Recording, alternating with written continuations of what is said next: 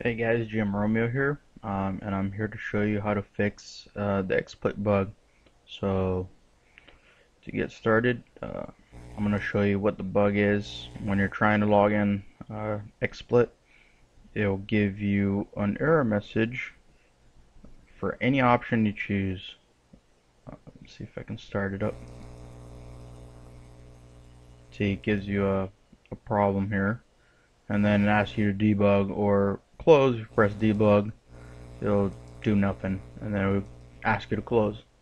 Uh, sometimes you can actually, oops, uh, sometimes you can actually go further and get to a certain other certain spot uh, where it actually opens, but then it always um, crashes. Let me see if I can get. See, ask you how.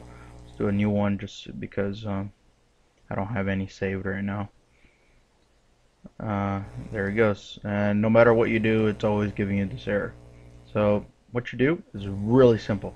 I've I looked all over the place. They asked me to uh, delete everything, and you know, they and format the computer. It has nothing to do with that. All you need to do is right click on the shortcut, or if you go to the folder, um, you know, if if you have uh, Windows XP, all you need to do is you know type here XSplit, and it'll find it. And then if not, you find the folder. Um, should be on Program Files, Split uh, Media uh, Split Media Lab, and XSplit. Uh, and then you find the the executor.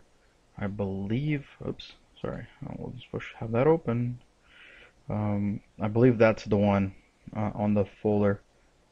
Um, but anyways, I have a, a shortcut that I that I created.